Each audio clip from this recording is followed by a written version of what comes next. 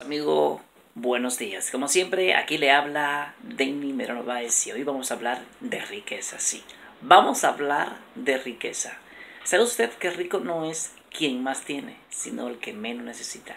En otras palabras, tú debes saber exactamente lo que quieres ser, lo que quieres tener y en lo que deseas convertirte en un año, en 5 años, en 10 años, en 15 y por último en 20 años. ¿Por qué? Porque una vez que sabes exactamente lo que tú necesitas para estar feliz, para vivir la vida que deseas, y vas en su búsqueda, o sea, vas tras ello, automáticamente podrás decir que eres rico. ¿Por qué? Porque simplemente ya has adquirido, ya has logrado lo que quizás ya quería para tu vida. Por eso es importante, es importante saber cuánto es suficiente para nuestra vida. Es importante saber cuánto es suficiente, cuánto es suficiente amor, cuánto es suficiente dinero, cuánto es suficiente eh, experiencia, cuánto es suficiente salud. O sea, tratar de marcar un límite diciendo, cuando logre esto, voy a ser mucho más feliz, me voy a sentir autorrealizado, voy a estar mejor conmigo mismo y sobre todo voy a ser una persona como Dios manda. ¿Por qué? Porque si la vida realmente no sabemos exactamente lo que queremos ser, lo que queremos tener y por qué y para cuándo y con quién lo queremos disfrutar, automáticamente siempre vamos a estar trabajando como animales, no disfrutando nuestra vida, no alimentándonos bien, no leyendo, no haciendo absolutamente nada para cambiar. Por eso si no tienes una dirección para tu vida, o sea, saber hacia dónde realmente quieres llegar, cuánto quieres tener en el banco, qué tipo de salud te gustaría tener, qué pareja te gustaría tener, te aseguro que nunca lo irás a encontrar. ¿Por qué? Porque lo que no se mide es imposible lograr. Escucha esto, ¿eh?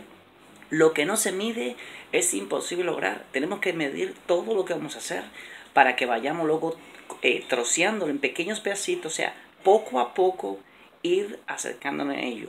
Si tu meta es, digamos, tener, de, tener 3 millones de dólares en el banco, pues trata de poner una meta para cuánto tiempo lo quieres tener eh, qué vas a hacer con ese dinero, con quién lo vas a convertir, cuáles son las inversiones que vas a hacer. Si tu meta es tener una, una excelente familia, pues di cuántos hijos quieres tener, con qué mujer lo quieres tener, en qué país te gustaría vivir.